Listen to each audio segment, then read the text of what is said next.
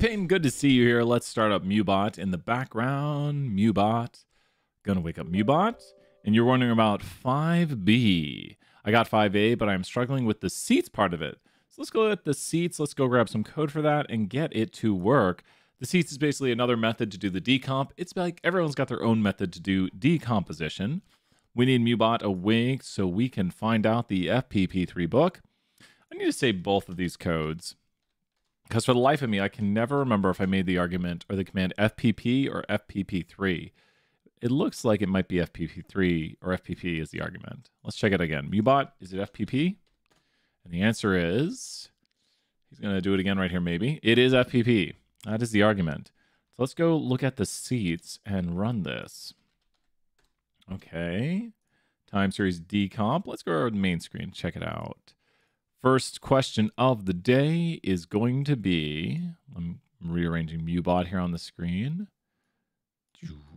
And if you're here, drop those questions in the chat because we're just going to get some work done. And it is the first question at 210 BAS 475 seats. So assignment four. Uh, five, you said 5B. Seats decomp. It's an acronym. Decomp. Okay. Well, let's go check this out right here. Seats decomp. Let's go do it. Okay. So we got the book pulled up right here. Let's go into the seats. There's the seats method right there. And there it is. There's the seats method right here. So this is using, I think that's all the code we need, right? It's 5B, and there's the seats, model seats right there. It's just the name of the model, and here's the seats where we're actually using the seats decomp. This is very important right here. That is going to use the seats uh, methodology of doing it. It's just another way to do the decomp. Everyone's got their own way of doing decomp right here, standing for seasonal extraction in ARIMA time series. So we're actually doing an ARIMA time series, which is kind of awesome. I think we have some decomps from earlier we could compare these two. Um, but the what an ARIMA is is an auto-regressive integrated integrated moving average. The seats and X11 decomp look super similar, but the response asking about the differences. Yes. So if I'm going to look at uh, so the X11 and the seats, let's go grab these two right here and take a look. Here's what I would do. Here's how I would compare them. So let's talk about a good way to compare them. This Pepsi stock thing is taking up a lot of bandwidth. Okay. Here's how we're going to compare them. So we have here the seats. Do I have everything I need? I don't have components. It's mad. Only we don't have US retail, right? Okay. We're going to make both these decomps. There we go. US employment not found. I think he creates that. So let's take... We're going to go grab one. We were doing the Tasmanian stuff earlier. So let's do aus production, aus livestock. We were working with the Australian livestock data earlier, and we're going to make our own, and we'll see if we see differences. So the Australian livestock data right here. Promise means it promises it's there. Kind of weird it says that. And we are going to go here and take from it filter. Is it state equals Tasmania? There's only Tasmania. It's mad about something. Oh. So it's mad about. I should know better. Equals is save. Equals equals is uh is logical check. Let's do calves. No, let's do pigs. Pigs have pig the good. Pigs has more great job paying right there. Equals equals. Easy way to make a mistake. Not saving to, but equals equals is logical check right there. And so now we have the filtered data right here. We're going to store into the object. I'm just going to call it data. Uh, these are called count. So we're going to make the seats decomp of the data right here. And then the variable we're looking at is the count. And there it has created it. It's creating the decomp components to which we can auto plot those in a moment. And the decomp of Tasmanian pigs, Tasmanian, Tasmania pigs, Tasmanian pigs. And now we should get the seasonal decomp right here. Cool. There's the seasonal decomp, but let's go get the, uh, not the seasonal decomp, the seasonal extraction. Let's go back here to just the regular old methods of using the X11, which is basically going to do, um, can I use X13 on that? The X11 decomp on it. So now we have the X11 decomp, and we should be able to go right here. There's the X13, but that is not how to do. Will it do it by default? I always forget the arguments for this sometimes. X11. Mm, let's just revert. There we go. Here's the X11 decomp, and here's the other one. Uh, we need to change our data set. We need to change our variable name. There's that. And then we're going to grab the auto plot right here. We're going to drop an auto plot right here, change the name of the decomp we're using, and decomp of Tasmanian using X11. Okay, so there's the decomp using X11. There's the decomp, and they're very similar. Mm, there's some big differences. There's some big differences. Okay, so here's what we need to do. We're going to store this into, can you guys do 1A and B? Yeah, we talked some 1A and 1B. You got it. Yeah, definitely, Shivam. So um, you got it. Um, we're going to store this into graphic 1. Just call it P1 right there. And then we're going to store this into graphic 2. Uh, so how are you doing, Peyton? Are you following along with what I've done? I've created two decomps, and I'm going to look at them both here on the screen at the same time. Does this logically make sense? I'm storing my auto plots. Uh, basically, we're just auto plotting, and then we're adding to it labs, labels for titles. So all this right here is just saying add to it this, uh, add to it this title. Technically, I usually like to write my code on one thing. It is a little long, but I usually like to uh, do that on its own line. Following along makes sense. We've created two graphics. Now this is where uh, we use a cool helper code, ggpubr, to do ggArrange. I've been a big fan of this as of late. But with ggArrange, we can go here and put the two graphics side by side. Uh, P1 not found. Now we'll find it. So now we're going to put those two graphics side by side right here to look at them and to talk about the differences we see. And this is probably going to be one of the best ways to communicate this information. So once again, I don't want to directly answer our questions right here, but when you look at this, we've got here the seasonal one, and then you've got here the X11. Now, there's something very clear to see, especially if you look at 0.8 to 1.4, a little bit clearer on that. Um, and also this right here. So really, I'm seeing some good stuff right here. What are you noticing? Which is something we would expect. What are you noticing right here? What are you noticing about the seats method versus the X11? Pretty clear to see, which is why it's called seats. Um, it is definitely doing this for us right here. Like yours might follow this, but we probably need to talk about some more. It's really doing a very different pattern for it too, kind of right under my nose. Um, but what are you noticing and how would we describe this to individuals? Um, yeah, and, and this is a good thing too. Uh, aside from, I don't want to talk about that yet, but that's a lot better if you look at the scales over here. Yeah, that's really good. The seats decomp in the seasonal pattern. So the seasonal pattern right here is capturing more of the variation. And one quick way to look at this is the scale difference from 0.8 to 1.3. It actually dips a little bit below 1.8 uh, right here and goes a little bit higher. Um, there is kind of a little more bouncing around in here like this. Uh, but another thing to notice is the the uh, irregular when compared is smaller. Over here, this goes from 0.5 all the way to like 1.4-ish, and this goes from like 0.8 to 1.1. So there's a much smaller remainder. So the seats is doing a way better job uh, by virtue of it's capturing a lot more in the trend. It looks like it's a little more volatile in the trend. Um, the seasonal looks to be also, so I'd say the trend has more volatility in it, where maybe there's some more miniature cycles being captured, where this has a much smoother trend. So just think how you could look at these trends. This this is the same series. You're not going to see differences here because that's your original series to start. And then when we decompose it here in the trend, the trend has more volatility in it, as in more kind of shaking aberrations, which might be smaller cycles that it's trying to pick up upon. You see, we don't even get that dip over here, it seems. So then over here in the seasonal pattern, we see a very different seasonal pattern with as much, um, it's a little bit more consistent in amplitude. I don't know. They're both kind of weird. I don't love either seasonal pattern. I'd prefer it be more consistent, but I might see more consistency in this seasonal pattern where it's picking up on just think about in the X in the seats, I see maybe a more consistent pattern with a little bit more stable amplitude. Like amplitude is how wide the signal goes. So you could say, uh, you know, the plot doesn't thicken as much, We do have a bit of an issue here, but it's a little more consistent in the thickness and um, maybe a more stable seasonal pattern where this one kind of has like sub seasonal patterns. I really see like a sub seasonal, like a seasonal pattern within the seasonal pattern. Um, but I might like this one better. And down here in the remainder or the irregular, call it remainder, I like to call it that. It's clear to me, and this is where the seats is really going to win. Uh, the fact that this bar is so big, look over here. The seasonal is not the is not so big. The remainder is bigger than the seasonal. That is a huge issue right there.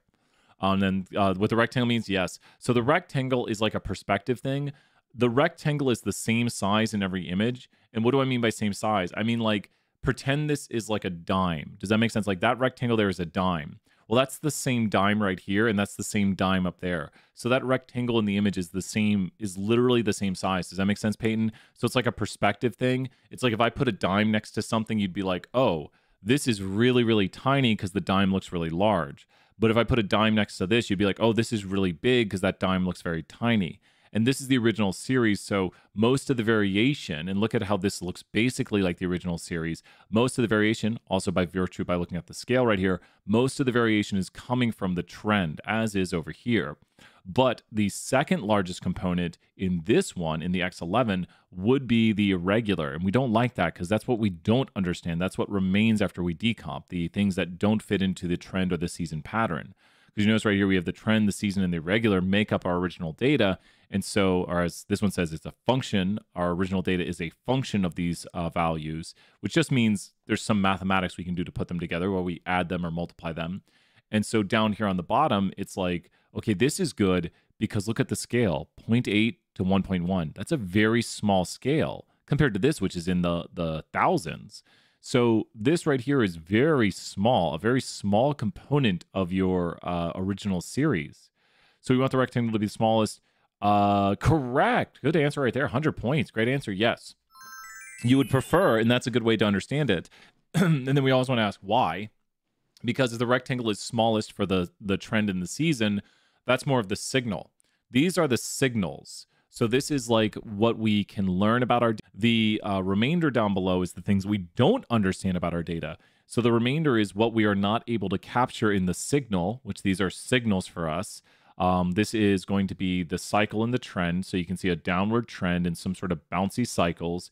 And then you see right here the seasonality is the over a fixed period of time. And is it, eh, the seasonality is a little bit odd in this but um yours might be better yours might be more consistent might have uh, better amplitude consistent amplitude but the seats method looks to do way better the number one winner for the seats method is this this right here is the reason i'm going with seats because in the x11 um, the second biggest component was the uh, noise or the residuals. Yes, Peyton, great, great work, Peyton, right there.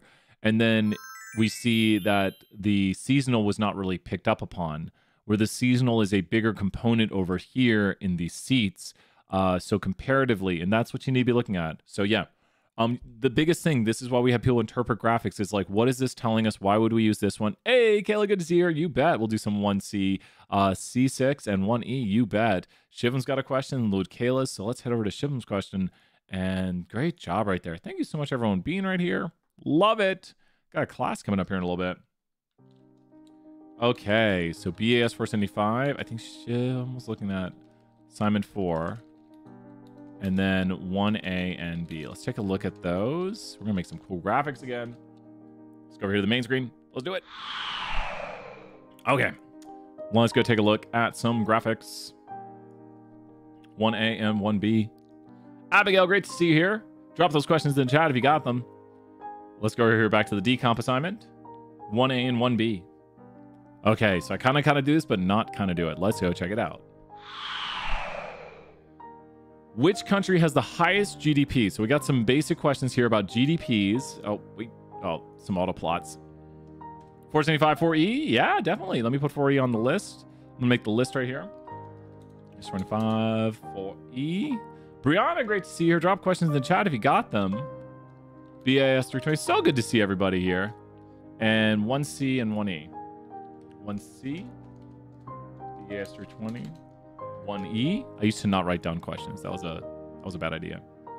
Okay. So when we look at this right here, which country had the highest GDP per capita? Uh, so there's a few ways to do this. If you want to find the country that had the highest GDP per capita, we're doing the global economy. We need to look at like GDP per capita, right? Now, I don't think we have GDP per capita right now. We have GDP, and GDP per capita means you do what to it? So let's first find how to get GDP per capita. How would you get GDP per capita? What is GDP per capita? You might have to Google it. So we'll do a we'll, we'll solve this first one right here, and then um I don't want to do too much of it. trying to help you. This yeah. Can we do? Yep.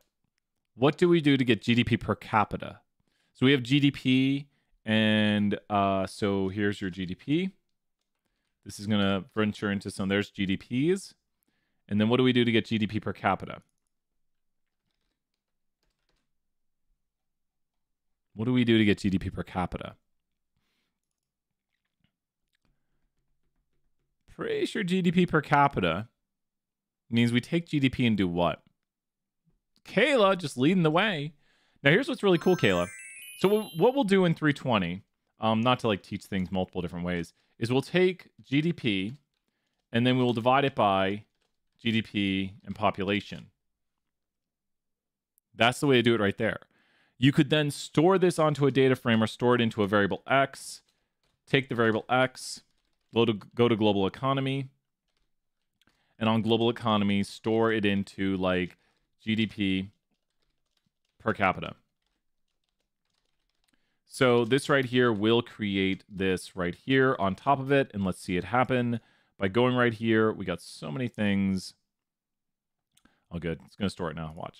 Boop. And there we go. So here it is, and it's on there now as GDP per capita.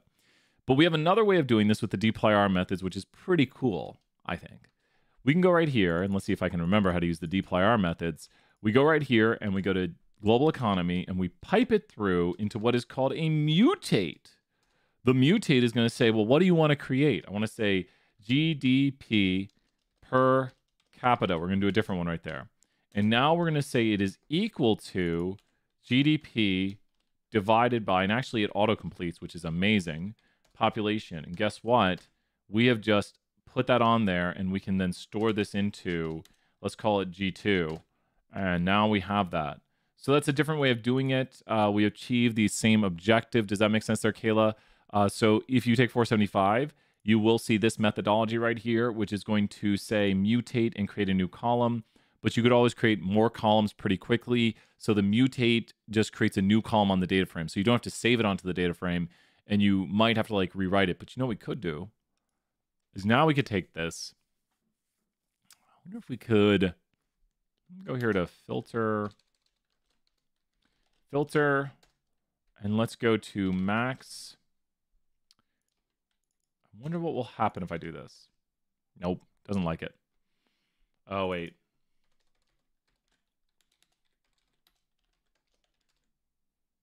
Nothing. We get nothing.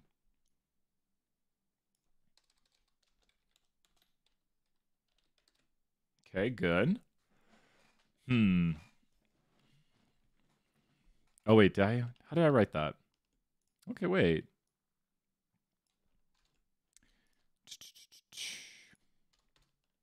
Still mad at me. Still mad. I've got a way of doing it. Yeah, you did it like this? Yeah.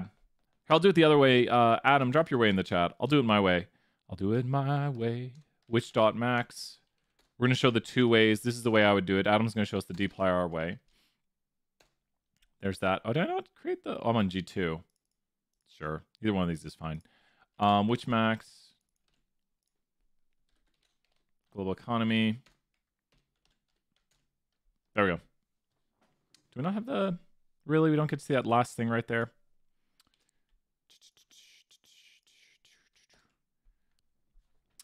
Adam has this right here. He ran through. He ran it all through. Ooh, nice. So Adam basically did the same things. We got the global economy right here. And then we're running the mutate. Then he created the variable the same way. This is just doing spacing right here. He filtered out. Up, oh, there's where it is.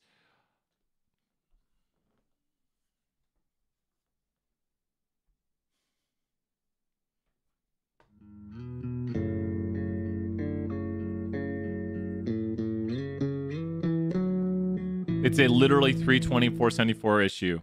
Adam, do you want to explain what the issue is? Do you want to explain what the issue is? I see it. I think I see the issue in the code. Um, do you see the issue?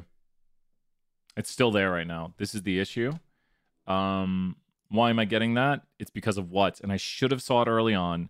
I did see it uh, when we were looking at the GDP, and I saw it right there. I see the issue. And you're right. And I hate that this function does this. It got me. It got me good. Kayla, this is a 320 thing. We need an additional argument. Adam saw it. It was in his code. And so I think this is going to fix the issue with my code. So the issue was what? Mm, not the underscore. Oh, do I have it? Oh, so actually I don't have it spelled correctly with the G2 thing. Oh, is that really going to do it? No, still problem. Um, well, that's Adam's code right there. Mutate. Da, da, da, All the underscores are good. Oh, we want to use global economy. Where'd my code go? Yeah, the NAs, the NAs. There it is. No, don't worry. 100 points, everyone, right there.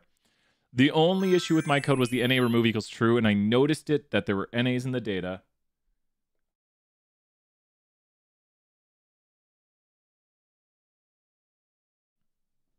Sorry about that. I had to sneeze.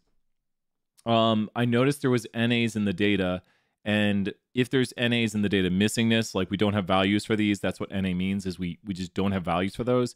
If there is NAs in the data, if you wanted to plot the plot the last y variables in a data set, would I use the I believe so tail? Mm-hmm. Yeah. Um, you could just save the tail. Bless you, thank you, Adam. Um, you could just use the tail of the data frame. Tell me if you have any problems with that, Shiv. Um, you can plot the last so many in a data frame with the tail of it, running the tail on the data frame. So let me know what trying, your thing you're trying to do. If you want to send me some code in Discord or drop in the chat. Um, but how are people feeling on 1A and 1B right here? So the goal is to plot the data and to understand it, and then we need to do some plots of it. So we have some other videos on plots, but this was really good right here. Just uh, working with a little bit of dplyr methods. So close, so close. The code was just one one argument away from working, and then Adam went in here and added a select for the column.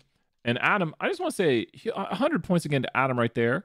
Uh, doing a lot of great work right here. We could go country, comma, uh, this right here, because we might just want to give the relevant info, and there we go. What does country do? I mean, what does select do? what does select do? Just think about telling someone what select just did. Look at the difference between my codes right here and tell me what select did which Adam knows, I think instantaneously. So I'm free to say too. But selected what? And I might display it this way to someone if I'm going to report this information because now we basically have that information right here. It is also giving the index. Um, yeah, Adam, great work. And it's just practice. It's just uh, you start to be like, oh, I want to take these columns. That's what select does. So select says take these columns. You still get the index. The index is the time interval by which we're measuring stuff. So these are keywords we need to know. This is a crazy day. My body's like, what have you done? I woke up this morning, they're like ripping apart the apartment below us, and I just hear like bang, bang, bang. I was like, well, I'm not sleeping in this morning. It's 7:30 for me. You're like 7:30. That's sleeping in for me. It's not for me. Let's over to the main screen. We'll start with the next question. I think we're on to some uh 320, right? It's on to 320. 320. Okay. Question 1C. Which one 1C? What, Kayla? Uh, you wanted 1C. We did a little 1C earlier. You were wondering about 1C6. 1C6. That's what it was. 1C6. And let's go right here. PS220. Assignment 5. Okay, let's go do 1C6. Assignment 5.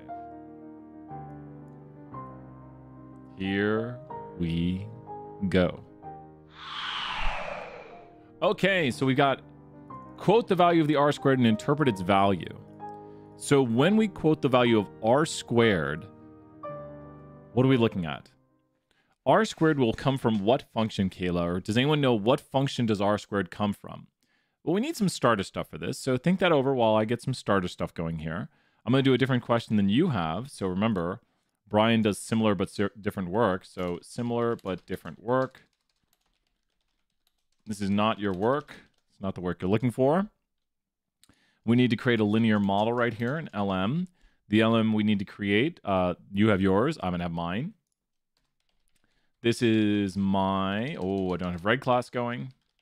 Regclass is where all of our functions are. Now regclass is loaded up. So when I went here to load the data that's inside regclass survey 10, it did not load. Do note that if you type in something like survey 10, it'll show you what package is inside of. Now we could do correlation. That is true. That is true. Um, so Kayla, 100 points right there. We could do correlation. Uh, we have another way of doing it though. We could do correlation, but also we can explain someone's height. Everyone who's ever, if you take my eyes, like height and weight. What a novel idea. Height and weight could be explained in the Survey 10 data frame. And once again, Survey 10 is just going to be a Excel spreadsheet. There's height and weight, just like we're looking at Excel. I'm like, okay, just uh, first person's height, first person's weight, six feet tall, 160 pounds, all that info. And now we're going to go ahead and make a linear model of it. And then from here, Kayla, what do we do? So it's a good pausing moment right here for 100 points. What do we do from here to then get a summary of the model? Like to summarize and, you know, let's take a look at this model. Let's just see what's going on right here. We're just going to look at it, and that's visualize the model. So there's a visualization of what we've created. This object M is the linear model. So we can see it, and that lets us see what's going on. And you're right, Kayla, right there, 100 points. Summary. So when we go to summary, summary will get us the following value. We get multiple r squared and adjusted r squared. Now, this is a little bit confusing, I do admit. There the r squared we are looking for is the multiple r squared. We are not looking for adjusted r squared. Adjusted r squared is adjusted for how many variables are in your model. It's a concept for another day when we start doing multiple regression, which funny enough, we are going to take the multiple r squared. I wish they just called it r squared, but maybe they should call it simple r squared, but it just calls it multiple by default. But this is the r squared we are looking for right here. That is the r squared in our output. So what does this mean? Who does anyone have any ideas right now what the r squared means? So now that we found r squared, we have to know what it means. What does that value of r squared mean? What does that value tell us? Any thoughts on, oh, this means this? What would that value of r squared tell us? Take a moment right here and think, how do we interpret it? So we need to know the x and the y variable. So we have to be like, okay, my x is this, my y is this. What does this then tell us? Kind of, kind of, kind of, kind of. You might be thinking of correlation. Correlation tells us strength, direction, form, and unusual features. So correlation correlation tells us strength, direction, form, unusual features. And so we could look at the correlation of this. It's not directly strength mad. Oh, gotta put a comma here. So that's the correlation. Correlation squared, because correlations r is r squared. So we can confirm right here that correlation squared is r squared. So that confirms that is the right number. Kind of, it does talk about residuals. r squared is basically, r squared can only be between what and what values, Kayla? So what values contains r squared? Think about if you square correlation, correlation can go as low as this or as high as this r squared is contained between the values of what and what. That's a good general knowledge too for the test, even for 201. So, because they've got this coming up uh, next week. So r squared is contained between the values of what and what. What is r squared contained between? r squared would be between the values of what and what. Oh, no. That's good answers right there, Kayla. That's correlation. Correlation is between negative 1 and 1 so if correlation goes as low as negative one and we square it, oh, did I square it? Oh, is it? Wait, what? There we go. R squared is contained between what and what? R squared is contained between what and what? R squared would be contained between 0 and 1, exactly. And that's why R squared is always going to be blank percent of the variation in Y is explained by the variation in x. So r squared is a measure of the amount of variation in y explained by the amount of variation in x that we have. So what we want is it really doesn't matter to us. It doesn't matter if it goes up or down. What matters to us is that the points are tight around the line. Like we want the points to be tight. The sign is used in correlation to denote the direction, but the value of the slope is used over here to tell the direction. So we can tell the direction of the line, which would be positive or negative correlation, by the value of the slope coefficient, but the r squared is a metric of the percent of variation explained. So that's a very common misconception is that sometimes people will call it like strength or correlation, but it's r squared, a metric of called the coefficient of determination. That's not important. R squared is basically the amount we understand in y based on what we know in x. And we'd love for this to be as high as possible. To get a very high r squared, the points need to be even closer to this line. The closer they are to this line, the higher the correlation, the higher the correlation, the higher the r squared. But r squared is not correlation. That's the biggest thing to write down. R squared is not correlation. A good way to lose points on the test is to write something about correlation for r squared. I mean, you could write things that wouldn't be needed, but if you often write correlation, you might go in a direction that is not good for the test. So don't write about correlation, whatever you do. So how would you interpret this right here, Kayla? Take a shot at interpreting this by plugging in the values of r squared uh, for the value of r squared right here and the value of y, whatever y is in the context, and whatever weight is in the context. So use this. Um, oh, yeah, with the.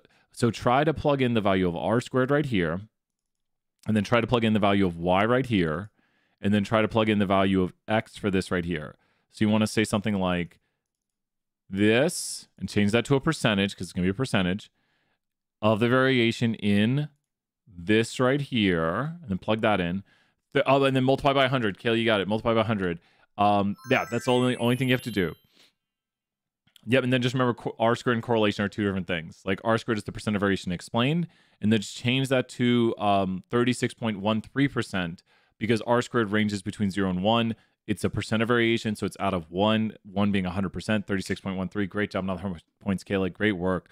36.13% of the variation in height is explained by the variation of weight. And some people say knowing weight gets us 36.13% of the way to understanding the variation in height or somebody's height. Uh, but does that make sense, Kayla, right there when we talk about what is r squared? It's knowing x gets us this amount of the way to understanding y. And if you think about this, if you knew somebody's weight, if someone says, "Oh, I weigh 180," you'd be like, "Oh, maybe you're a little bit taller, maybe I don't know." You don't have to be. There are people who don't fit this who have a high residual. There's people who are taller than you would expect to weigh 180 ish. But if someone says I weigh 100 pounds, you'd be like maybe, maybe around like uh five feet tall. I don't know. Doesn't there's people person who's five five about 100 pounds. Person who's uh this person a crazy outlier. I don't. I think they misentered their data. They are they are 75 pounds and six foot three. I think it's misentered data because I am I weigh 100 more pounds than them. It's not just saying you can't weigh 100 pounds less than me, but I am 6'3 and they weigh 100 pounds less than me and they're 6'3. So I think they misentered. Also, 75 pounds and 75 inches, maybe they just duplicated their answers. So over here, you see more extreme outliers, uh, individuals down here who weigh like 270, who are about four foot four, uh, maybe a very extreme outlier from the model. Um, but with this, we explain decently, I would say, most people's heights with their weights. Does that make sense? Like knowing somebody's weight gets us about 36.13% of the way to understanding their height. What's interesting is you could also ask somebody, you could ask them their gender. And if you knew somebody's weight and gender, now what? Knowing somebody's weight and gender, what uh right what right here, Kayla? Knowing somebody's weight and gender what? Knowing somebody's weight and gender would what? And just think about does that make sense? If you knew someone's weight and gender like like if they're willing to tell you that if you knew somebody's weight and gender that would mean what? That would get you what right there? If you knew somebody's weight and gender that would get you what? Or there's a few ways to say it. So just think about that. Now we would know more info. So if we know more info we'd have a better understanding about their height right here. So knowing somebody's weight and gender would get us 56.8 percent of the way to understanding the variation in their height, or weight and gender explain 56.8% of the variation in someone's height. Does that make sense when I say that that 56.8% of the variation in somebody's height is explained by their weight and gender? Does that make sense?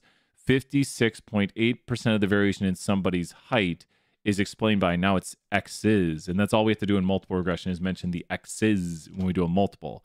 So 56% of the variation in somebody's height is explained by their weight and gender. Watch this. If I put GPA right here, GPA doesn't explain nearly as much. See how GPA really didn't do anything? GPA and weight explain about 36.13% of the variation in somebody's uh, height, where weight by itself explains 36.13. So somebody's GPA does not doesn't really explain anything about their height. Like, like, oh, you have a 4.0 GPA. That doesn't tell me anything about your height. That doesn't help me. And we could look at that by itself by going here. And great question, Adam, right there. Can you go over the? Yeah, let's go look at that here in a moment. Um, so this is a model looking at uh, somebody's uh, weight height with their GPA. And think about this. Knowing somebody's GPA gets you about 2%, I'm rounding this, 2% of the way to understanding their height, or 2% of the variation in height. 2% of the variation in height is explained by the variation in GPA. And just think about that. That means if you know someone's GPA, it's not going to tell you that much about their height. And frankly, the very, ooh, it's not due to random chance. That's interesting. There is actually something statistically significant here, but it doesn't seem what? To end off 100 points, like, even though this is statistically significant, this model is statistically significant. It is probably not what?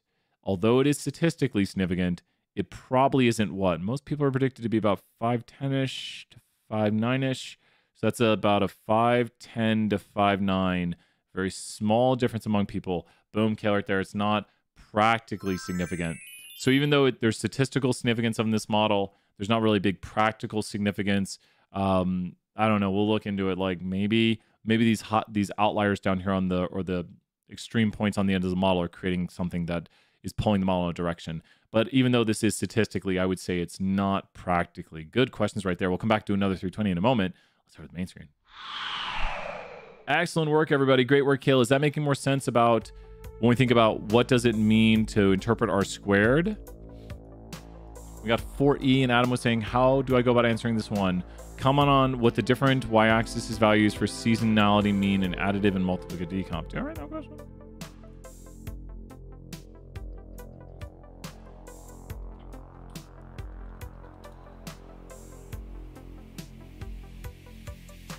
Comment on what? Yeah.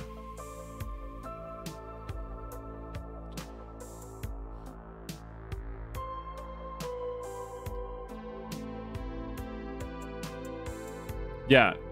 Comment on what the different y-axis values for the season seasonality mean in, in additive versus multiplicative. Yeah. So with this right here, um, so check out, we did a big segment here at the start. Let me show you, Adam. I'll show you right here. I'll show you the timestamp on it. Uh, we could come back to this if you like. Go to this section right here, Adam. Uh, the very start of this video, the first 13 minutes. Uh, you should see me going over that section right there about looking at um, the different decomp models. And so basically, you're just trying to compare them. Does that make sense right here? We'll go look at the question again. Redo the classical decomp with the multiplicative. Are there any are there any noticeable differences? Comment on what the different y-axis values for the seasonality mean in additive versus multiplicative decomp. So, especially when you look at a multiplicative decomp, it's going to be what we're multiplying by. So that's a big thing right there. So, yeah, I got them all. I was just not sure what to say about it. Basically, in the multiplicative decomp, we're no longer adding these things together. It's a value by which we're multiplying it. So you're going to see usually values closer to one. Like it's like a magnitude increase just think about you know if you add things you're like stacking them on top of each other but when you do you know the seasonality that's kind of the key the answer the seasonality has an axis that's more of a magnitude change so that's a degree in change of magnitude of the value so you would take the trend component we actually have these graphics still up i don't think i have a multiplicative decomp on the screen though might have one all the way back in time don't I have more plots oh plot manager too big okay we're all, we're all the way back on stocks now. Back to class. Talking about stocks today. Um, two more seconds. Let's see if we have it. We should. I know we just we did some here at the start. There's our candlesticks eye. There's, there's the end of class. Up. Here's our decomps. There we go. Did we do a multiplicative? No, I think we just stacked them. Um, this is a multiplicative decomp. So these are multiplicative decomps. Um, and we might be able to make a classical pretty quickly. So let me do Adam's question right here. Um, but, but, but, but kind of start. When did we start this? Two minutes ago. So 39, 50 BS. We've been jumping around. We're gonna do another 320 right after this. Assignment four. So uh, this is 4D. Was it? I think it was four. Multiplicative or multiply versus add question. Sure. Okay. Now which one is it? It's gonna be hard to find. Okay. 4D. 4D. Okay. So let's make a decomp right here in our 10 billion notebook assignments, untitled. Here we go. And we should be able to go in here and get, where's our classic decomp? Do we not save our classic decomp? There's the classic. Let me go grab them. Let me go grab an additive one. Um, if you need need it, let me know. we'll go grab an additive decomp right here. Do, do, do. And there's the additive, pure additive. Cool. Yep. Okay, cool. There's an additive decomp, and we'll just take a look at these two. Okay, so let's go grab this. We'll store it as P1. Um, US retail, we're not going to use US retail. Do we still have our data stored? Let's reload it. Okay, cool. Don't worry about the graphic state. And then we're going to pipe through the data, do a count. This is the smoothing window. The trend window kind of smooths across that window by which it looks at the model for the uh, trend. Um, ba, ba, ba, autoplot, cool. And now, now we need to go look at, uh, we're going to go look at our seats model. Let's go store this as P1. And now let's go make our seats model as P2. And now let's go plot both them on the screen at the same time. Is making the second graphic right there. And now that we've got them both created, let's go look at them. This is a great way to display stuff once again right here. Um, and you can tell, and you have to watch out because this is really not picking up on the seasonality so well right here. The seasonal component is actually a very small component. So I think you can get lost in it. That's probably, you know, I'm making an argument for the perspective thing here again because these are based on magnitude changes now. So this is a big issue. So I'm, you know, we were talking about how to look at the scale thing over here, but once again, this is when you multiply the numbers together, this is a multiplicative model, and it's pretty evident to me right here because it's a magnitude change.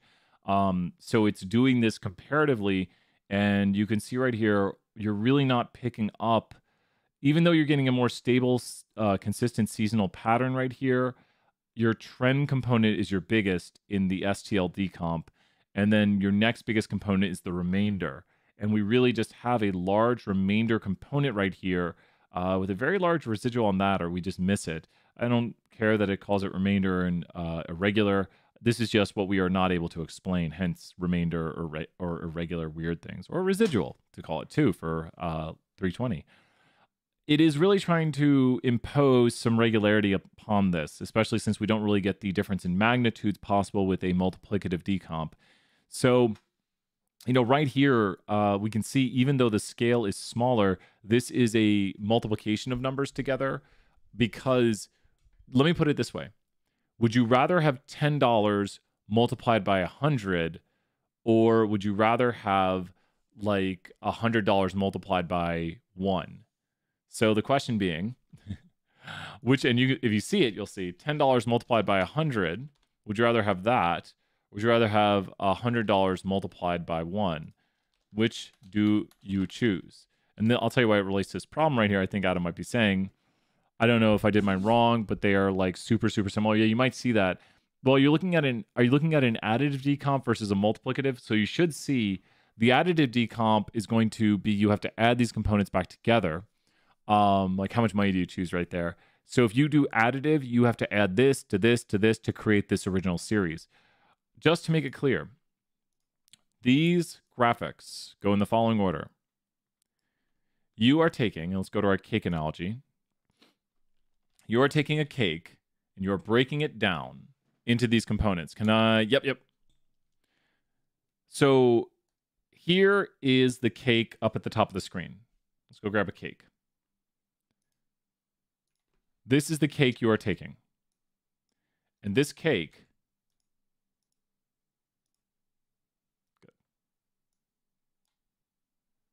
You are going to do what to this cake again, Adam? This might help make sense, or other people watching might understand what these analogies right here. What are you going to do to this cake right here? It's both of these graphics is your cake. So you're going to do what with your cake? You are going to do what with your cake right now? So what do we call this chapter? What are we doing with that cake right there? We're going to take that cake and do what to it? Hence what it's called. We're going to take this cake up here at the top and we're going to what it? We're going to break it down. We're going to decompose it. So we're going to get all the major components from it. And of course, one of the most major components to a cake is the literal cake of it. So one of the first things we'd take from this cake is the cake, which is the major component. That's a big component of that cake right there. And by big component, we can see it over there on the scale because it's actually the biggest component over here on this one is the cake component, and that's the scale of it. The next thing we would take as we decompose this cake into its parts are going to be the icing. The icing is the other major component of this cake right here, and this relates to us because we're taking the trend and the seasonality, so you can see the icing. Now, the icing is a smaller component. Now, it's a little bit confusing, but when you see the bar being smaller over here, that actually means it's bigger. That's kind of the reverse. So you can tell over here, even though the scale goes from 0.8 to 1.4, I sent my two plots. Awesome. I'll talk later next. And then this is what what's after we break down our cake. So after we take the icing and the cake out of our cake, the last part is what what's out of our cake. We take the icing off our cake, we take the cake out of our cake, and then just using the words of how we talk about it, we have what what's for our cake. We have the what of our cake might not know what that picture is, but it's the sprinkles and stuff. It's the sprinkles and the little things on top of that cake up there. After we break down the cake, we would have the remainder. We'd have what remains. So our goal is that the majority of our cake is the cake and the icing. We don't want this randomness on top here, those random sprinkles, to be the majority of the cake. Every cake will have a little bit of randomness, but we want consistency in basically the major components that it's a lot of cake, it's a lot of icing, and you see that right here in this decomp, and that's because this is very small. So, hey, Shreya is good here, and Kale's here. Um, good to see you both. We're gonna do another funfetti. I love it. Gosh, this cake looks so good. So when you decompose a series, this is the original series up here at the top. And then going down in order, we have the major components. Some series have more trend in them, some series have more seasonality. Like some cakes have more icing, some cakes have more cake, but you kind of need a little cake and a little icing. You don't just want to throw a bunch of sprinkles and say, hey, that's a cake. But some cakes are a bunch of sprinkle, sprinkles in time series. So our goal is to break down the series. And then why do we have two different decompos- decompositions of it? It's like you're asking two friends to take apart the cake. There's different methods for doing this. So you might do it with the decomp method, you might do it with the STL method or the seats method. And so however you choose to decompose it, decompose it is just your way of doing it. So that's got it. Let's head back over here and do a little, let me look at the screen, then we'll do some 320. Thank you so much, everybody. We got Shreya here, we got Kayla here. We're gonna do another 320 coming up. I'm gonna take a look at Adam's code right here. Adam sent the code. Let's take a look. All right, you've got the plots. I see the additive. Are you trying to get it all on one screen, Adam? So is the issue it's not appearing in one window like mine?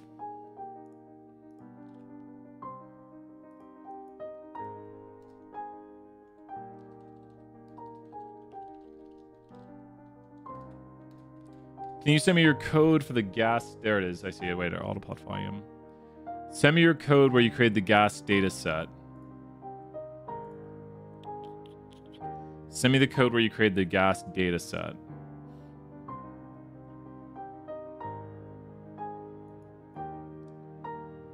Looks like, wait, you have a... No, but you're just making one additive model. So the reason you're not seeing differences is because your first model is, uh, is that you made an additive model and then uh, it's just a plot change title name.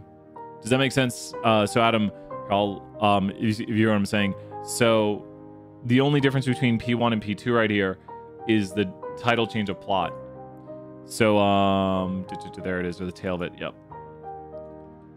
Lost production. Yeah, lost 20 observations.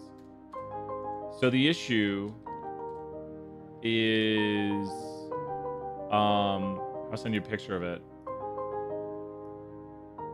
So the reason it's not looking very different is because this is all just your gas decomp, which was done via an additive model. And so P1 and P2 are created from an additive decomp. And so for this one right here with the gas production, decomp, where'd it go? Here go. Oh, we're doing 4D, right? Uh, so redo the classical decomp with type multiplicative, right? Are you doing 4D right now, Adam? Because 4D is going to have you redo it. Um, yeah, no worries, no worries. Um, yeah. It's the problem is is that doesn't. So the issue is redo the classic decomp with type equals multiplicative. Does that make sense? So the classic decomp with the argument multiplicative. Does that make sense? So use the uh, additive. So the only change in your function is just a change to title. Does that make sense? Like right now, your only change right now is you've changed the title of the plot. But so take a look at the code I sent. What you stored into gas decomp is an additive decomp, but changing the uh, title on line 12 of what I sent you to multiplicative won't change the the way it was broken down. So we need to change the argument type. Does that make sense, Adam? I can look some more on Discord later, but um, type needs to be. I'll point to it in the code. Here, we'll go to it real quick, and then we'll do the next question. Um, this is what needs to change right here. This does that make sense, Adam? This right here is type additive for the first one, and then we have to redo the decomp, store it into like a new object, and then do it via this method. So the second when we do it again, we'll use type equals multiplicative, and that will create a multiplicative decomp. Um, so this right now is not a multiplicative decomp, even though it says multiplicative decomp right here. Um, so I think this is fair to show. Um, even though it says multiplicative decomp, exactly, exactly. So you can tell it's not multiplicative because it's not being multiplied together. So um, watch this. Two seconds.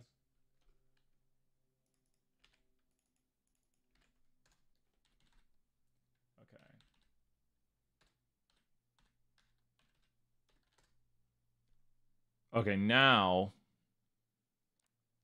Oh, did I just not blank the screen? I don't know what I'm doing. sure. now, now this is a multiplicative decomp. Can you tell this is multiplicative decomp now? So the way you can tell this is how do you know this is multiplicative decomp? Like, how would you know this is a multiplicative decomp? Got it? Yeah, yeah. Maybe I don't know if I actually didn't blank the screen or what, but I was like, I thought I hit my blank my screen button, but maybe I didn't. Um, but what tells you up here that it's multiplicative decomp? I see the yeah, the equations multiplied together. So um, you didn't blank it. Well, there you go. I just pressed. I went up to go through previous code and change the code that I had been running.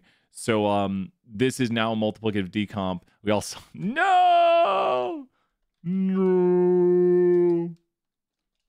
That's a string. There we go. Let's go back to the main screen, do a little more 320. We got this. Last night was the Stat 201 exam, and whoa! I'm whoa, my arms tired. I'm just I just flew in from the Stat 201 exam, and boy are my arms tired. I wonder the first person who ever made that joke. You know, that joke had to have been made after like planes were invented, so that's probably like a not less than a hundred year old old joke. Oh yeah, totally, Adam. You're doing great. This is awesome. Like it's all about that practice. How did they do? They did pretty well. The average was like an 81 and 82. 81 and 82 average. I'm pretty proud of that. Um, pretty close to the other sections, but I'm fine with that. We teach an online class, so I'm always here to show that online classes can do just as well as in-person classes. And we regularly show that. I want to do better, though. I want to do better. I want to be the very best, like no one ever was. To teach statistics is my real test. To train you in R is my cause. Stat 201. Stat 201. That is my goal. You teach me, and I'll teach you how to code in R. 1E. Obtain a 95% confidence roll for the slope. Let's go check it out here. 1E. Oh, thank you so much, Trey, right there. It's it's not a competition for me, but it kind of is. it's not quite a competition to have my students do well. Um, but it means a lot to me when they do. Want students to do really well. I want them to learn skills that help them, and I want them to have a good time.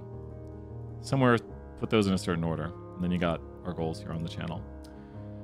Well, we're going to learn how to make some confidence intervals right here for the slope of a regression line. So when we give someone the slope of a regression line, let's go make a model. I'm just going to throw in some code for a model right here. If I were to make a model, we're going to go here and load up a data set. This is practice code and showing us how to do it. If I make a model, what am I getting for the slope in the intercept, Kayla? So I'm making a model right here, predicting height from weight, classic.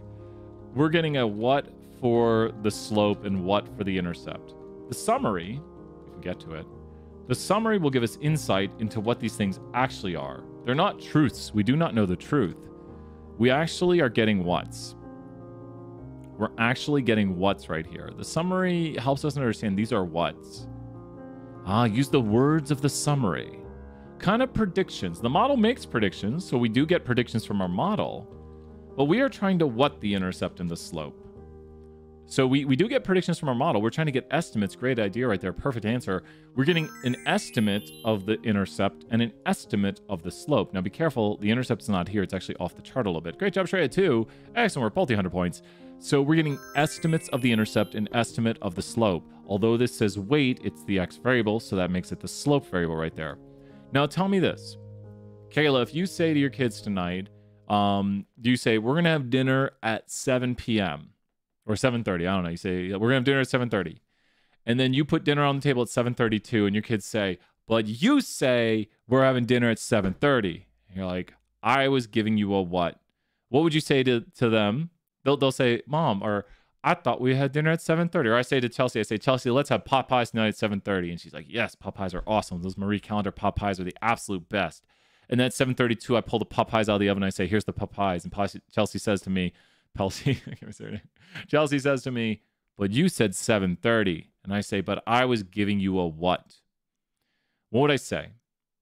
I say, "I was just giving you this." I God, that sounds mean of me. I wouldn't say that to her like that. I'd be like, "I was just giving you this." I was in the kid mode. I was in the kid mode. Gosh, that sounds mean. Don't want to sound mean. I was giving you an estimate. I'm sorry. We would never talk that way to each other. Gosh, ugh. don't say that. Don't be like, who's Kelsey? or Pelsey, Popeye Chelsea. That's when Chelsea and I are eating Popeyes, or Pelsey and Brian. So, um, who is Kelsey? Um, so with this right here, we would, uh, we, we would say to our children or our loved ones, I was just giving you an estimate. I'm sorry. I was just estimating.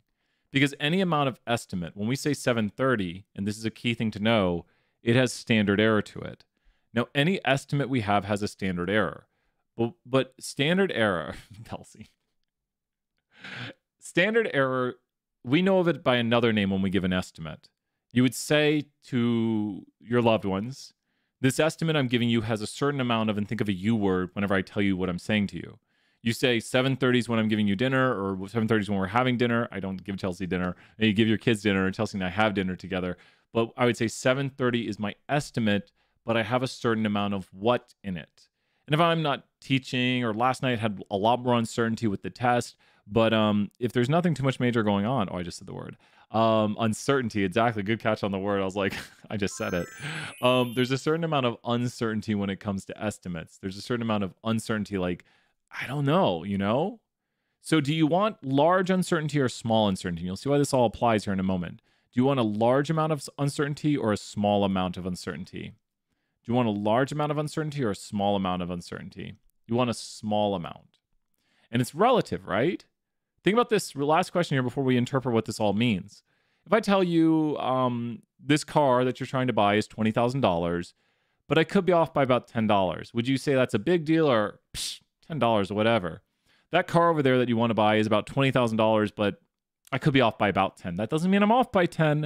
It means maybe about 10ish you know when you say we'll have dinner at 7.30 plus or minus about five minutes your kids are like okay that's cool five minutes five minutes 7.30 plus or minus five hours and they're like Wait, so we're having dinner at like midnight? What's going on right here? Not a big deal, right? But what if you say to somebody, well, that was the other example. Here's a candy bar.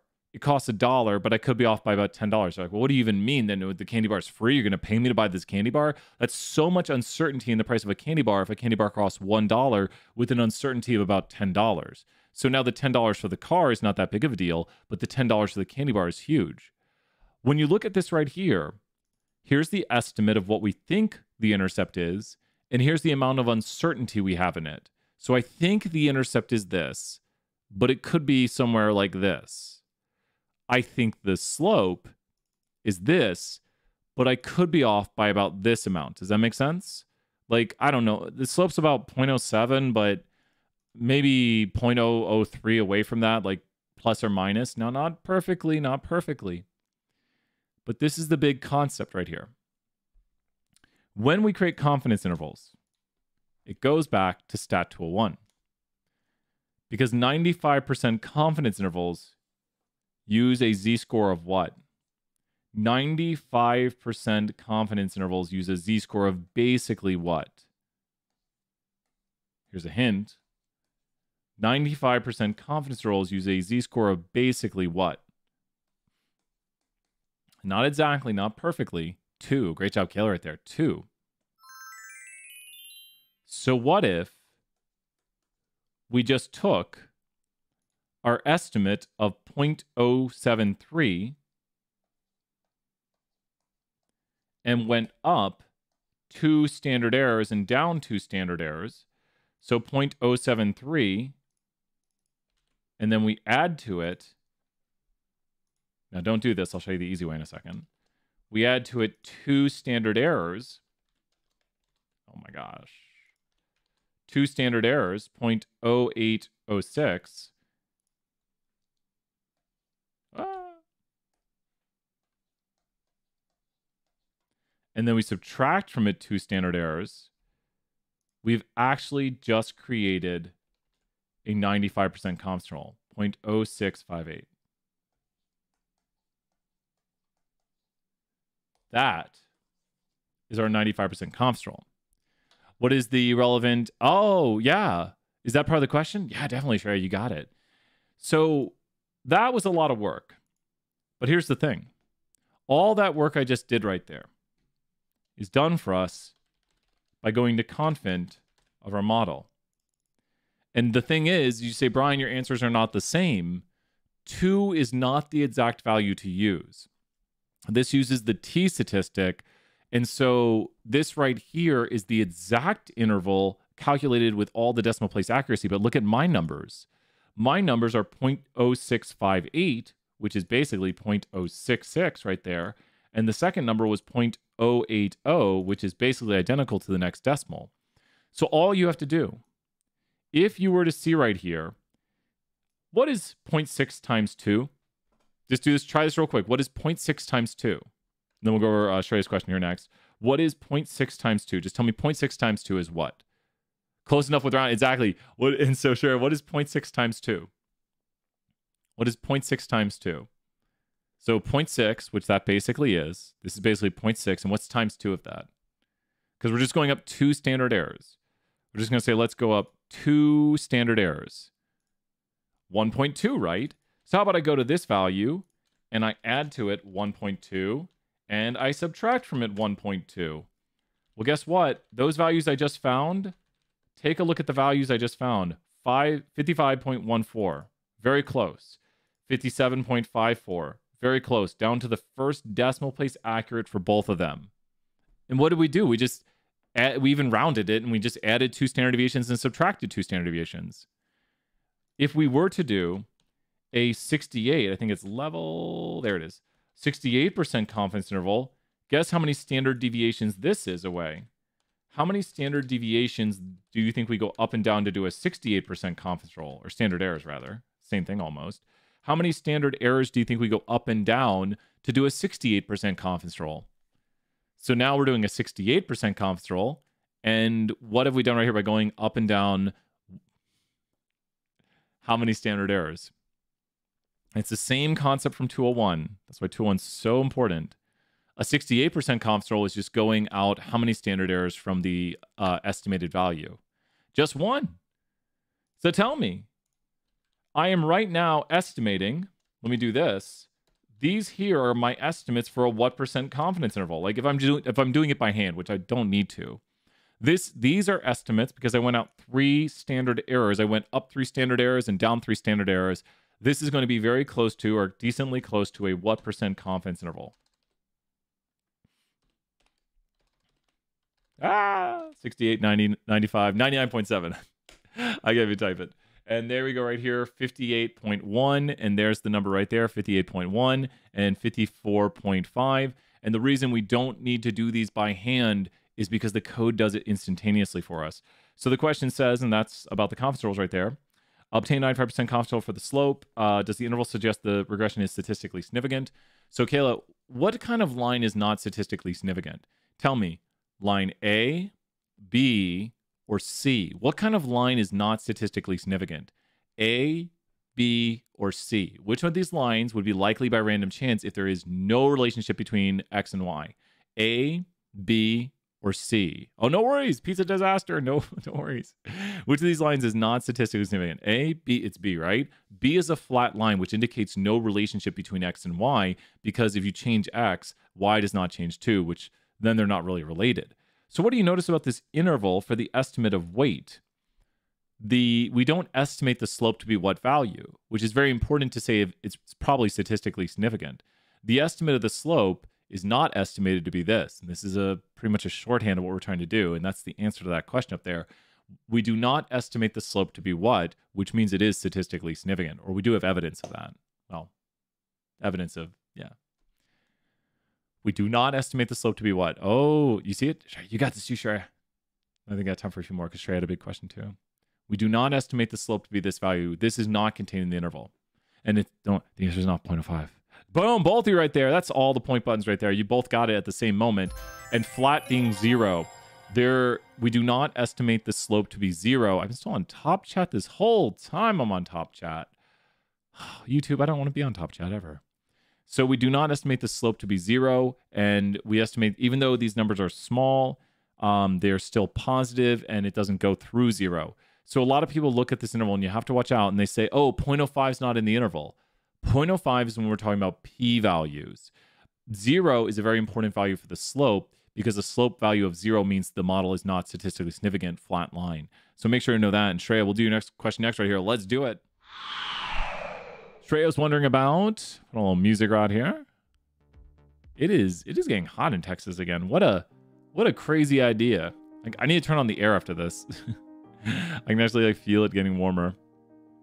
Let me find Shreya's question. Da, da, da, Thank you so much, everyone, for swinging by. Uh, Shreya, what's your question? I just got just got some grades posted. Thanks for. Oh, you're welcome. No, thank you, Isaac. Thank you, Isaac, for working hard on those.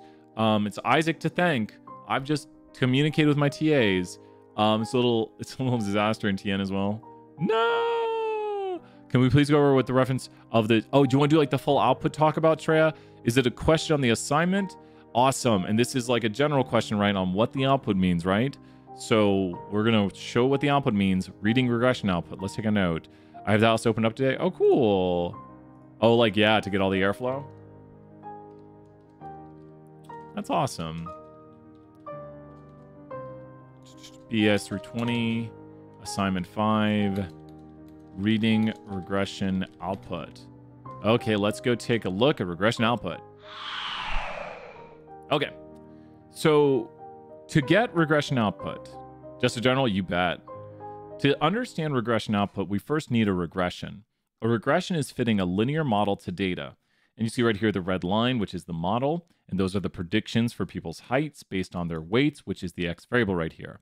Awesome. And then we are going to take and get our summary of this model, which is just going to tell us things like the coefficients and all this stuff right here. Let's go ahead and take this and understand every bit of this code. We got enough time right here to go through all the code, and then we'll have class. Yes. let's go grab this code, and let's explain all of the output, every last bit of this output.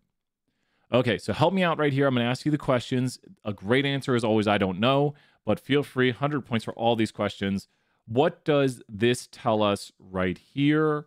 Uh, so what is this telling us up here at the top? What does that first thing tell us? We're just going through each step of this, understanding call LM. Uh, what does that mean? What does this all tell us right here? I'll put some hints on here as we do this. What does that first thing in yellow tell us? The x and the y variable, correct. So the, this is what the model was made from. It is predicting height based on weight. Uh, exactly. So how does x how does x explain y? And remember, this is the formula for it. It's always y tilde x comma data equals. Adam can tell you. Adam, do we use that a lot? Can we go to the 475 for e? We might. We might. Yeah, let's try to do that, Abigail. You bet. So um, I think we might have just enough time. We'll do it. I might run over there and turn on the air.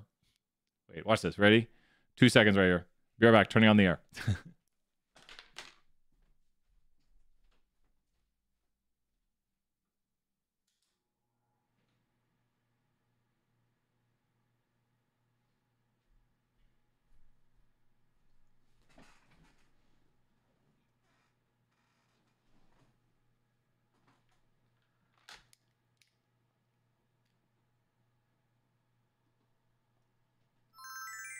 Oh, did I not mute? I don't know what I do. What did I do? Oh, I did this. There we go. Uh, can talk about him. no. Um, so next we have the whats. What do we have here next? So what are these? What are those? And there's a pretty extreme one. So what are those on the screen right there? There's a pretty extreme one, and I see something right there in the chat too. Uh, in chat what what do we see right there? What do we see right there? What what's going on with that? What do we see? Uh, it is the five number summary of of the great job, Kayla, right there. It is the five number summary of the residuals. So it's the five number summary of the residuals, and I see something kind of major right here. Yeah, of the residuals. So these are the biggest misses in the model if you go to the max and the mins, and we could probably find that person over here uh, do you see the person who had negative 23 as their point? Do you see the person with the negative 23 as their residual? I think it was negative 23, something like that. Negative 21. Do you see them on this graphic? The person who was the biggest negative miss. So we could be like, ooh, there's a big extreme negative residual. And do you see them? Do you see them? Right there. That's them uh, because they are the furthest away. They're negative 21 units below the line of their prediction. So that is the biggest miss right there. Uh, the most positive might be this person over here. That's the person who's uh, missed where the model, Kayla right there, excellent work. So we can tell if there's some extreme points by looking at this. So this right here will give us a good understanding of do we have, you know, very large residuals. Good to see you here, Alea. Excellent work. And next we get into the super important stuff right here, which is mainly what your assignment's over. This is big, important stuff right here. So with this, we should know very quickly what this is. Can anyone tell me in notation what that is? So what is notation of estimate of intercept? And it is what it says it is. It's what you estimate the intercept to be. And it might help if we write the following. y hat equals b0 plus b1x, or you know, b sub 1. So what is that? What is that value there that says intercept estimate? The intercept estimate is also known as what in notation. So use the equation up here to help you out. Ah, uh, not the y hat. So the y hat is the predictive value. The y hat, good answers right there, Kayla. The y hat is actually the line itself. So the y hat is actually the predicted values. So the y hat is actually the line itself. Um, this value right here of b sub 0 is right here. So that's value of b sub 0 is what we estimate the intercept to be of that line. And then b sub 1 is not don't don't say for one unit change on the test, but it, if that helps understand it, that's always good. Just make sure your interpretations. We did interpretations earlier today. So it's values right there. So mm-hmm, so B0 exactly. B0 is the intercept, and uh, the line itself is the line of prediction. So that right there is the line, and then the x variable would be down here on the x-axis. Uh, so that's the x variable. Now, the actual values of y are the dots themselves. So if you see actual dots on this chart, those are the actual values. So there's difference between the actual and the predicted, where the line gives predictions, but the actual values of y are the actual. And that right there is just the name of the x variable. So whatever the name of the x variable is would go right here, as we see the name of the x variable right here, and the name of the y variables over there on uh, the y graphic, that it's height. So you do see the name of the x variable multiple spots. Now, the standard error is just our what in these estimates. Repeated again, which is not more complicated than that. It sounds super complicated. Standard error, standard error, residual standard error. It's just our what in those estimates. Like, oh, I think that uh that car costs about ten thousand dollars. Maybe I'm off by about this much. Standard error is just our what in any estimate we make. An easy way to remember it. So, uh, not quite residuals, not quite close, close, close, not residuals. Whenever you give an estimate, you'll always have a certain amount of, Shrey get it work right there, you'll always have a certain amount of uncertainty. So whenever you give an estimate, you'll always have a certain amount of uncertainty. Now, residuals even have uncertainty. So residuals have a certain amount of like variation in them, like uncertainty, like how big is our residual? Eh, usually about 3.554. That's about how big the usual residual is. That's what residual standard error is. How much might I be off in my estimate of the slope? Well, maybe about 0.0036. Yeah, no, this is practice, so you're getting it. Now, this is where Shreya's question comes into play. These values right here coming up next. So we understand what the the un, the standard error is. It's uncertainty. Just sub in the word uncertainty whenever you hear that. Don't think of it as anything else. It's just like, well, I'm probably off by about this much or this much for that estimate. Eh, maybe about that much. It's not that you are off by that much, eh, maybe about that much. But if you take these numbers right here and divide them, that will give you a ratio. Who can solve in their head 56.348032 divided by 0.589459? Who can solve that in their head? I can. It's 95.59. Now, do you think I solved that in my head? What do you think? So the question was, who can divide 56.348 divided by 0.589459? I said, in my head, it's 95.59. I can I can show you. You'll get a no. I promise I did in my head. Now, once again, check out what's happening right here. How do you think I'm actually solving this? I promise I'm not doing it in my head, or am I? You never know. How do you think we're actually solving it? Oh, look, it's 59.59. I was right. You've asked me the next digit, I would have had some trouble. Exactly. It's that number right there.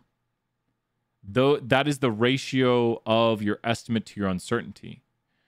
Now, what would you now we talked about this earlier. Do you want a lot of uncertainty like what do you want? A very what uncertainty? What do you want relative to your estimate? You'd like the ratio. So this is just a ratio of these numbers. You'd like this ratio to be big or small. I kind of flipped the question a little bit there. Would you like that to be a big or small ratio? And we don't want lots of uncertainty, correct? So would you like that to be a big or small ratio? Like when you compare your estimate to the uncertainty, you want your uncertainty to be small, which means the ratio will be this. So you want your uncertainty down here on the bottom to be small, and then you want your estimate to, to be what? So would you like the ratio to be big or small? So if you take the estimate and you divide by the uncertainty, which is very small uncertainty, the ratio, which is what we're looking at over there, the ratio is hopefully very what? The ratio is hopefully very what? Hopefully very large. We want a big ratio, correct. And when you see T, just always think about a Z score. T's and Z's are basically the same thing. T's are just calculated more exactly due to William Gosset and Guinness Beer. Um, but T's and Z's are nearly identical, and they do converge to the same distribution with infinite degrees of freedom. It's a little more statty than we like to get. It's just a ratio of like how big is our estimate to the amount of uncertainty we have in it. So we want a big estimate compared. So that's exactly it. We want small uncertainty, relative large estimate. That will give a big ratio. Now, the bigger the t value in absolute value, and that's why it says absolute value here, the bigger it is, the what wider the p value the bigger the t value, the wider the p value in terms of absolute value. Because the sign it doesn't matter. The sign doesn't matter. The sign just indicates if the estimate was positive or negative. We care about in terms of absolute value how big this estimate is. Is this a big estimate? The sign doesn't matter. So the bigger the estimate or bigger the t, which is the ratio of the two, the wider the p-value. Smaller. Exactly. So what is the smallest possible slope to obtain? Just like pretend we had different output here. I'll re-erase this here in a second. But what would be the smallest possible slope to obtain? The smallest possible slope to obtain would be what if you were making a statistical model? The smallest possible slope to obtain would be a slope of zero. And if you obtained a slope of zero, then your model would look like that. Obtaining a slope of zero means your ratio would be what? What would your ratio be? So don't think too hard about it. Think zero divided by something. Your ratio would be what? Your ratio would be what? If your slope was zero and you had any amount of uncertainty, as long as it's measurable, your zero over something would be what? So you're just taking zero dividing by it. You can use the numbers on the screen and try try the numbers. Zero divided by anything will be what? So we're just going to standardize this now and turn it into a t value. It'll be zero again. It's just zero. Now here's the thing to remember. This is the least significant slope. This is the slope most likely by random chance. So what would the p-value be? Be careful. This is the least significant slope. This is the most likely by random chance, most likely by random chance slope. What would the p-value be? The p-value would be what? This is the most likely by random chance, the least significant slope. The the most likely slope if there is no slope is to find a slope of 0. So the p-value would be what? Be careful, we're breaking the trend right here. It's the most likely. It'd be bigger, and since it's the most likely, it'd be what? You're right on the right track. Since it's the most likely, it'd be bigger and it's the most likely by random chance. It's very high. It's the most likely. You're on the right track. 100 points. I haven't been throwing points lately. Oh my gosh, what am I doing? It's the most likely by the biggest. It's the biggest. What's the biggest? It's the highest. What's the highest? Kayla right there. Another 100 points. It's one.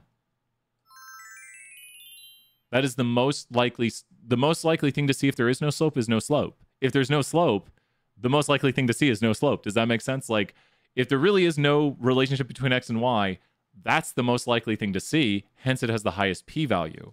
That would be what we'd expect to see. And that's when we talk about like null hypotheses. Um, but I hope maybe there's some aha moments like, okay, that is the most likely thing to see. That's what the p value is telling me. Like, that is what I should be seeing if there is no slope. Now, there's other things you could see that are likely by random chance, but that is the most likely thing by random chance. So I, I don't know. I was, I don't know. I love p values. I love Chelsea more though. It's like Chelsea p values. They're way down there. It'd be it'd be Chelsea, bunnies, bunny one, bunny two, equally tied p values. Last but not least, we have the little bits of the output right here. So we've got the residual standard error. And with the residual standard error, the residual standard error is our what in the residuals. So use the word right here. The what. I love you more than p values. I should put that on the love card error. Um, the residual standard error is our what? I do. Oh, they wanted us to say I will for our wedding, and we were like, "Can we say I do?" And then he was like, "I will is an active thing. I do is in the moment." And we were like, "But we understand that. We understand that we're saying I, I do for forever. I do and I, I will and I do." The residual standard error is our amount of uncertainty in the residuals. The residual standard error also goes by another name called the root mean squared error. Error is just residuals. But I want you to see this. If I cancel out the mathematical things here, if I cancel out the mathematical things, what are you left with? This is the same thing as this right here. If I cancel out mathematically, what are we left with? The RMSE. Yeah, that's the RMSE. Great job. And what are we left with? We're left with mean error. So that's how would you describe that? That's the average error. So th- what is the residual standard error? It's the average error. Like which is kind of a how much do we how off are we typically by? Like how uncertain am I when I make a miss? So it's the typical miss the model makes. It's the average error. Um, but if you cancel out root mean square error, it just goes down to mean error. Do not worry about degrees of freedom. Do not interpret that part of it. That is used to calculate things like F and T statistics. Uh, the multiple r squared is the r squared we care about. And that r squared right there is the classic blank percent of the variation in y is explained by the variation in x. And we would input here the blank percent. So that's going to be, uh, for this model, 36.13% of the variation in height is explained by the variation in weight. Adjusted R squared is something we haven't gotten into yet, but adjusted R squared, I'm ah, not going to go into too big of detail now. It's adjusted for how many variables are in the model. It's a way to compare models of different size. Adjusted R squared is basically a penalized R squared where R squared can be negative. So your adjusted R squared is a fairer way to look at multiple models. Adjusted R squared is always lower than R squared. The lowest possible R squared is zero. Zero is the lowest possible R squared. So listen carefully to this because this will help for later tests. The lowest possible R squared is zero. 0% of your variation explained. R squared adjusted is always lower than R squared because it's adjusted down. So what do you immediately know about R squared adjusted because it's always lower than R squared and R squared um, adjusted uh, or R squared can be zero. R squared goes to zero and R squared adjusted is always lower than R squared. And this is why we don't interpret it either. But what would you know now? Because you're like, wait a minute, R squared goes to zero, but R squared adjusted is always lower than it. So R squared adjusted is always adjusted down to like compare models fairly. It can be negative. Exactly, it can be negative, which is kind of weird. A lot of people wait, I thought R squared couldn't be negative. Well, R squared can't be negative. R squared adjusted for multiple comparisons of models can be negative. So the fact that it can, um, it's always lower. Some statistician is going to join the stream. Except when R squared is one. Okay. Statistician joining the stream saying, well, let's go over the calculation of the coefficient of non-determination. Statistician person. My brain suddenly remembers all the theory I know, and it's like, okay, the only instance when they're equal is when r squared squared's 100%, but if we get that, that's kind of weird. We actually, it's weird. We don't want to make perfect models because that tells us something's a little bit off. The F statistic, uh, not that big of an interpretation here in regression, but that's the ratio of what we observe being explained over what we would expect. Uh, so we see about 394 times the variation explained versus what we would have expected due to random chance. So this is this is very very unusual if this is due to random chance. And the overall p-value of the model, um, I should use different colors because I've already got those on the screen for the r squared. If anyone were to pause, I don't want them to grab the wrong values. Um, the overall p-value of the model, that is super important. That tells us right there that model is statistically significant. Outliers can do anything. To correlation, to regression, they can do anything. So really good stuff. Let me go send the... Let me go send the announcement about class. I think we have time here real quick. Announcement about class. No. Class in 10 minutes. I tell you, time just flies. I look and I'm like, it is. I'm like, I, didn't I shave this morning? Shave this morning? And I'm kidding. I...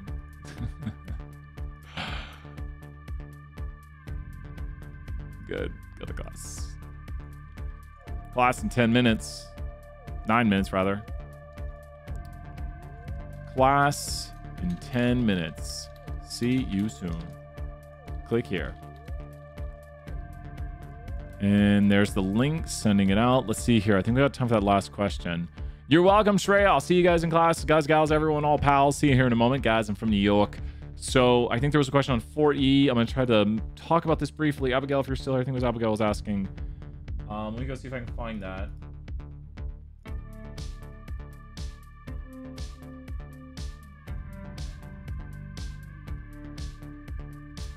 Compute and plot the seasonally adjusted data. Remember to turn your decomp. I'm going to throw some help right here. throw some help. Go to the main screen. So you're welcome, Abigail. I'm going to throw you some big help right here and Discord me if you're stuck. Um, so the book has a really great way to do the decomp. I just don't know how to plot it. I gotcha. Watch this. You ready? Uh, where is it? So the book has a really great way to do the decom and plot it. Um, so oh yeah, this is good stuff. Um, the seasonally adjusted. There it is right here. So this right here, Abigail, um, this is a great way to plot it and get a really good. So if you look at what we're doing, um, we're taking the decomp. So here's your decomp object that you have. Like you've you've stored the decomp, like you're saying. You said, um, you said where I just saw it a moment ago. I just don't know how to plot like you have it. Yeah. So we have the decomp object, and then we're doing aesthetic, setting the x equals to month. Then we're taking, and I think your decomp object might already have, and this is cool because what this does is this overlays uh, the seasonally adjusted on top of this. So you get kind of a cool plot right here with it. It's got the trend and the seasonally adjusted. So you could actually remove off the trend um, and do a fewer model, like a smaller model. But this should do it right here. You could remove out the trend component. But is this making sense right here, Abigail? I could send you this, or I can put this link in the chat right here. But uh, this right here, this link with this code right here, as long as you change uh, your variables, because you're not going to be doing employed, because your y variable might be something like count or gas or things like that. Um, but how does this look good for you, Abigail, right here? Does this make sense on what to do? I'm going to set the timer. Oh, great job, Abigail. I figure, and I want to say a huge thank you. People are working so hard, and I really love the code of what we can do with this because there's so many kind of like quick little codes that just get so much done. And that's got I got the timer ready to go. Yeah, no, no worries. That was that was you're you're if I if I say here's here's how to do it and you're like I got it. Look, if Kayla, Kayla, are you still here? If I say Killa, if I say this is how to do it, would you be like, okay? Or would you be like, uh and if you know how to do it from this, I'd be like, Kayla, you are just like rock star. But um, this is where we want to get people to. And so Abigail, 100 points to you right there. But Kayla, if you can do it from this too, then you are just you're you're getting up there. That's awesome. So we're trying to raise up everyone. We're trying to like get those skills up. If you're stuck on anything, let me know. I'm streaming here in a second again. So I'll see people in class. But keep up that great work. We're going to keep practicing. We're going to keep encouraging each other. And we're going to keep working hard so we all just lift each other up. With that, we got this. I'll see you in class here in a moment. We're here to encourage each other. I love it. Bye for now. Bye.